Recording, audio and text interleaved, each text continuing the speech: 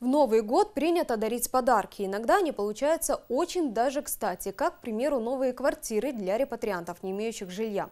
Четыре крымско-татарские семьи получили бесплатные квадратные метры в новом доме в Симферопольском микрорайоне Фонтаны. На торжественном вручении ключей от новеньких трешек присутствовал и Эдуард Здоров.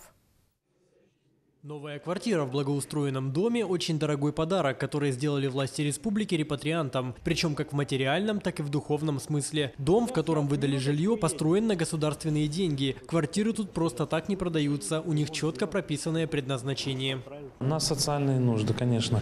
Здесь жилье будет предоставляться только гражданам, состоящих на отдельном квартирном учете депортированных лиц.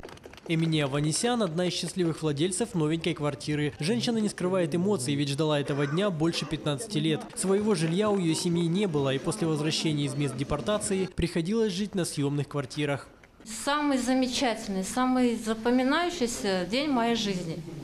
Я думаю, мои родители бы э, радовались бы и прыгали от счастья, что э, их дети получили такую возможность жить в таком прекрасном доме. Жилье предоставлено в рамках реализации программы по обустройству граждан из числа репрессированных народов. На сегодняшний день порядка полутора тысяч таких семей еще стоят на учете и ждут своей очереди. Эдуард Здоров, Александр Чукалов. Время новостей.